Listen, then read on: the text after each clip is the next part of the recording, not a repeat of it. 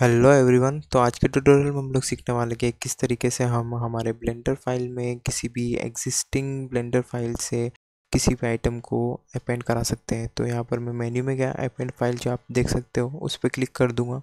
जहाँ कहीं भी आपने ब्लेंडर फ़ाइल को सेव कर कर, कर रखा है यहाँ पर या फिर जहाँ से भी आप अपने ब्लेंडर के मैश को या ऑब्जेक्ट को या इवन कलेक्शन को आप अपने एग्जिस्टिंग ब्लेंडर फ़ाइल के अंदर इंपोर्ट कराना चाहते हो या इवन कंप्लीट सीन को भी अगर आप इंपोर्ट कराना चाहते हो इस मेथड से आप कर सकते हो।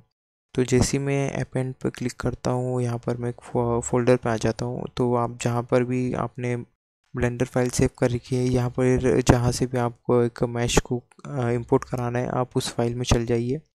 आप ब्लेंडर फ़ाइल में जाने के बाद कलेक्शन दिखेगा, जैसे ही आप कलेक्शन पे क्लिक करोगे या ऑब्जेक्ट पे क्लिक करोगे तो आपको इस तरीके से रिज़ल्ट मिल जाएगा। जैसे मैंने एक अपेंड करने के बाद में एक ब्लेंडर फ़ाइल में गया जो ऑलरेडी सेव थी।